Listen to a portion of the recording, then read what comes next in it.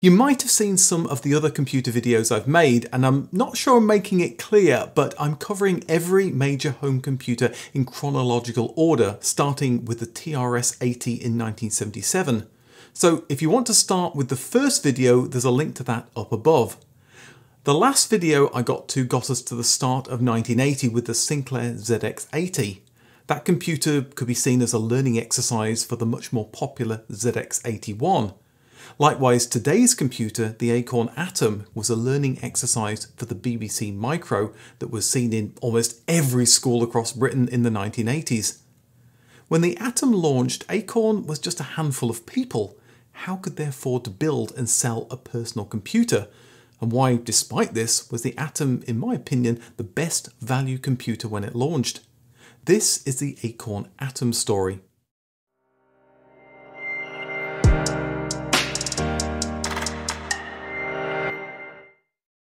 Chris Curry had been working with Clive Sinclair on electronics projects for years.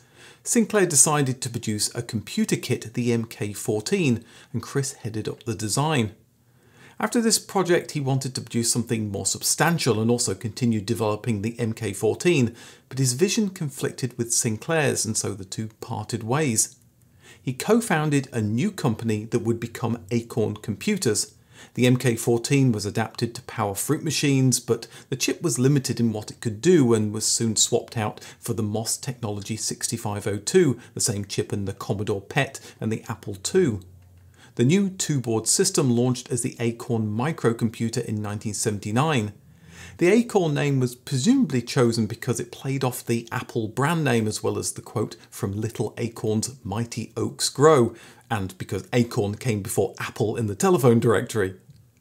Acorn Computers was based in Cambridge and as such had good access to maths and computing undergraduates so that they could help get projects off the ground while paying out very little in payroll.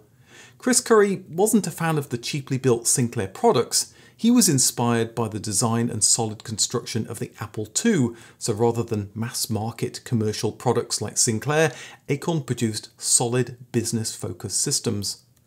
The Acorn microcomputer was basic, built on two Eurocard circuit boards and available as a kit already assembled. If this looks familiar, then you might remember it as the computer that powered Slave from Blake's 7. Acorn pitched it much the same as Sinclair's MK14 as a kit to learn about microcomputers or as a microcontroller board for machinery. It was programmed through a keypad and small display. There was also circuitry to load and save programs from cassette.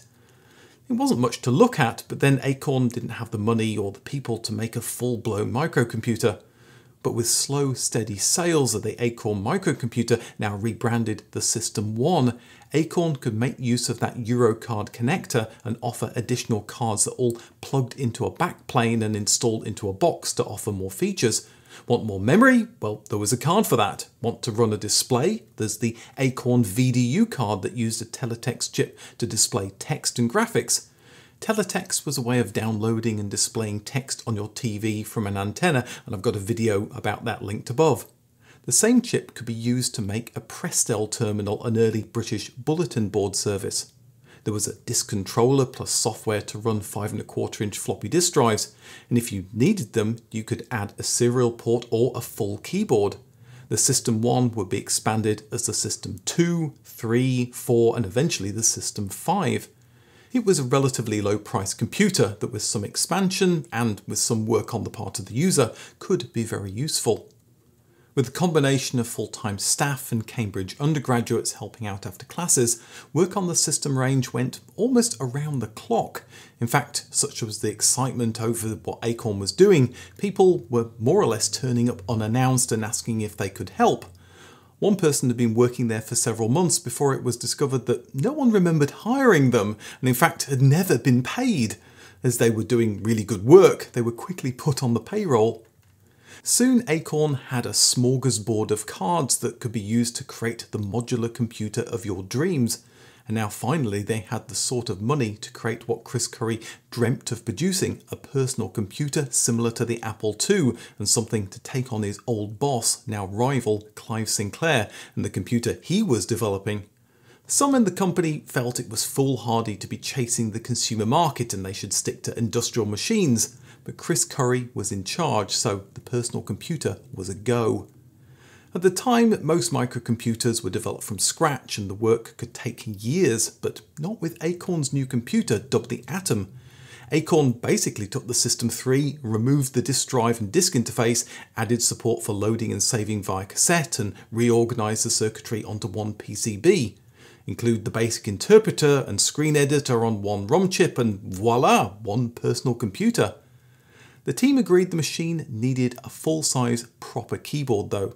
Membrane keyboards, in their opinion, didn't offer the ability to use a computer for real work, and this would be a key differentiator to other British personal computers.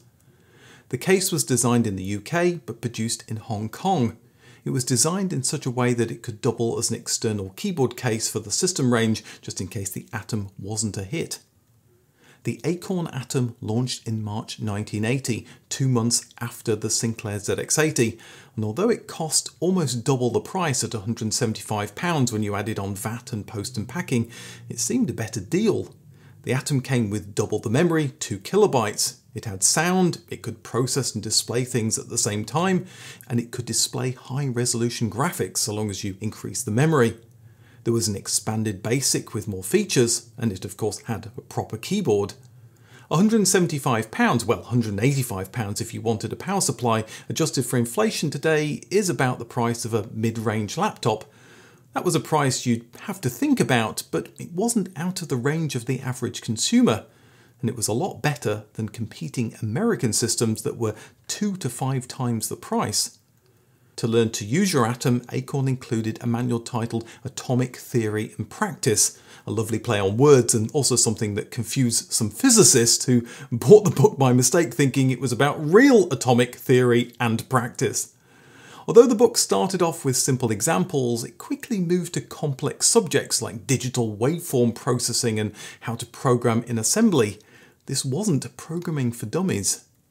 Most versions of BASIC derive from or took inspiration from Dartmouth BASIC from the 1960s, or Microsoft's version of BASIC from the mid 70s. Acorn decided to chart their own course and to modernise it's just a little weird, or as Personal Computing World put it, like an ego trip for a Cambridge Don. A simple what is your name program needs to define a string array and there can only be 27 of them at or A to Z. The dollar sign is in front of the letter instead of behind. All programs have to finish with end or the atom will throw an error. Numeric variables have to be a single letter at to Z again, but they can't conflict with string variables, so this program redefines what A is on line 30, meaning it can't be a numeric variable any longer, which is just confusing. Numeric arrays are only one dimension and have to be two repeating letters like AA, meaning there can be only 27 of these as well. But then there were nice features like line labels useful for Go sub calls which may end up moving between different line numbers. There was the ability to read data from a program and do until loops. This was better than Sinclair Basic, which isn't surprising as it was double the ROM size. One benefit for the serious programmer was how easy it was to write inline assembly, and it was an excellent introduction to assembly given the simplicity and power of the 6502 instruction set.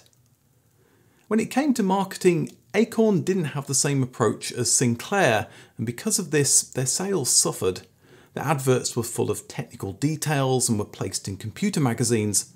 Sinclair also advertised in computer magazines, but also in newspapers, with copy pitched towards people who'd never even seen a computer in the flesh. This is maybe why, like the System 1, Acorn sold the Atom as a kit, and they didn't include a power supply. The sort of people who'd buy an Atom either already had a power supply or, or could build one themselves. Despite this, there were a lot of kit returns from people who rated their soldering abilities higher than they actually were. The Acorn Atom adverts might advertise full colour high resolution graphics, but the base 2KB system could do neither of these things. In fact, of that 2 kilobytes, 1 kilobyte was used by the system and half a kilobyte by the screen, leaving only half a kilobyte for your program, so saving up for extra memory became a priority. Putting in the full 12 kilobytes unlocked those 256 by 192 high resolution graphics, providing even more incentive to upgrade. At around £100 extra, it wasn't cheap, but they were just standard memory chips and so could be purchased for less from third parties. But a full 12 kilobytes didn't unlock colour graphics. That was a separate unit that took a year to arrive and cost another £21.50. No matter what was displayed, the American Motorola chip that powered the video display caused some headaches. It was designed for the American 60Hz system, not ideal for Britain that used 50Hz. With some vertical hold twiddling, it was possible to view the image on British TVs, but it proved to be more of a problem on the European mainland, and Acorn would offer a 50Hz converter expansion board. It was also a pain if you planned to use your TV to watch, you know, TV, as you needed to keep changing the vertical hold between computer sessions. If the characters and the choice of colours looked familiar, it was because the video chip was the same one used by the Tandy TRS-80 colour computer and its clone, the Dragon 32. It also meant no lowercase letters, and there was only 32 columns of text, not the 40 columns of competing systems. A big omission for such a technically focused computer was that, like the ZX80, it lacked floating point numbers. Acorn showed some clever workarounds to get scientific work done with integer numbers, and to be fair, they were 32-bit integers, so they went up to 2 billion or so, not the 32,768 of the Sinclair ZX80. Acorn would offer an additional 4 kilobyte floating point ROM, but the support in BASIC seemed bolted on, which it was. Unlike the ZX80, the computer could do calculations as well as displaying things on the screen, but it wasn't without its problems. Accessing the video memory caused screen interference, not ideal. The keyboard was a little slow to respond, meaning touch typists had to go slowly to be sure each key press was recorded. Acorn thought they'd come up with a clever design by putting the keyboard and the computer on the same printed circuit board with the chips underneath. But this had the unfortunate effect that if you were heavy-handed typing on the keyboard, the chips could work loose from their sockets. The voltage regulator got so hot it would melt the solder, and as it was upside down it could work itself loose and fall out. But then this was Acorn's first consumer computer, and it would be a surprise if they didn't make any mistakes. The Atom had problems, but there were plenty of opportunities for expansion. Memory or additional ROMs could be added to spare sockets, it was possible to go beyond the 12 kilobyte memory limit with a 32 kilobyte RAM card. As the Atom was based on the System 3, there was a header for the Eurocard expansion bus. Modules that added colour, printer or disk drives could be installed within the machine or hung out the back using a ribbon cable. Acorn had been developing networking capabilities that they called the Cambridge Ring, so by adding a chip and a connector, you could be chatting to other Atom users through their early implementation of Econet.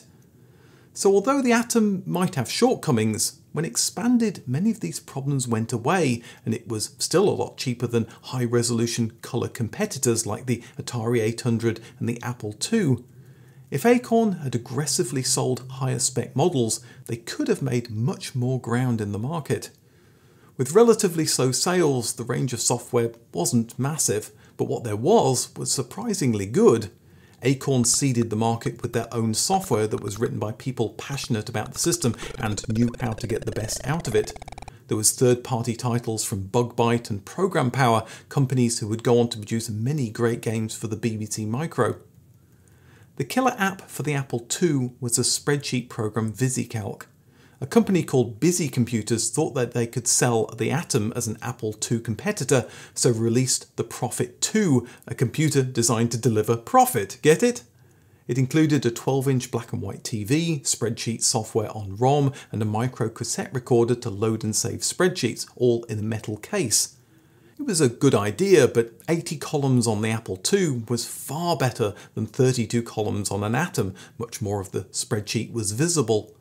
And waiting 30 minutes for a spreadsheet to load from microcassette wasn't exactly efficient. The follow-up Prophet 3 sensibly included a floppy disk drive, which not only made loading and saving much faster, but cheaper as well. Disks might cost a little more than microcassettes, but they held five times the data. Despite this improvement, the Prophet didn't deliver Busicomputers much profit. Acorn were working on the Atom's successor, the Proton, when the BBC came calling asking if Acorn could develop something for the Computer Literacy Project. The government-backed Grundy NewBrain was the initial choice, but with Atom reviews saying it was ideal for schools with useful features like networking, and with its solid case and keyboard that could stand up to abuse, it's maybe no surprise Acorn won the contract. The Proton was rebranded as the BBC microcomputer system and launched at the end of 1981. It cost more than the Atom and was sold alongside it as a deluxe model. The BBC Micro was better than the Atom in almost every way, and one of those was a more standardised, more capable version of BASIC. In fact, some considered it the best implementation of BASIC on the market. With the Atom and BBC Micro sharing a lot of similarities, in late 1982 Acorn offered a BBC Basic ROM upgrade for the Atom.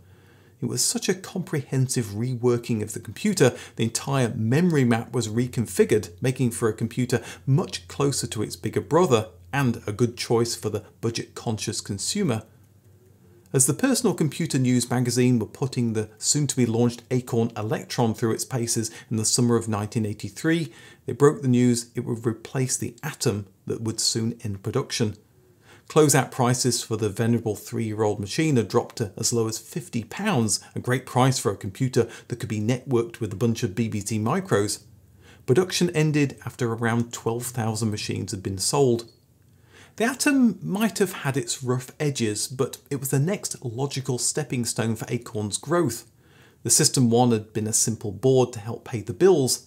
That money was fed into developing it further, and sales from the System 2 and System 3 were ploughed into producing the Atom. Sticking to one processor architecture across their range and reusing everything meant this small company could punch above its weight. At the end of 1981, when they were developing the BBC Micro, Acorn was still only 20 or 30 people. And when the BBC Micro launched, it had disk and printer support, networking, a serial bus, plus six different high resolution graphics modes as well as teletext mode that meant the 32 kilobyte machine used only one kilobyte of memory to show color graphics. It's clear the team at Acorn learned from the deficiencies in the Atom and fixed almost all of them with the BBC Micro. The Atom helped tiny Acorn grow into a mighty oak. The BBC Micro was a big hit, certainly helped by the government discount scheme for schools, but also because it was a well-designed computer.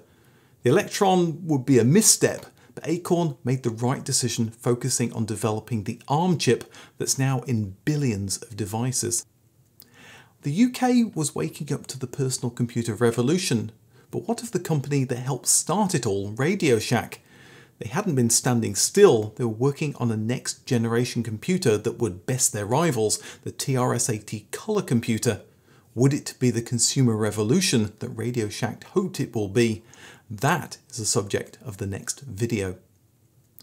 When I've made the TRS-80 color video, it'll be linked on the right. If you haven't seen the original TRS-80 video, that is also linked on the right.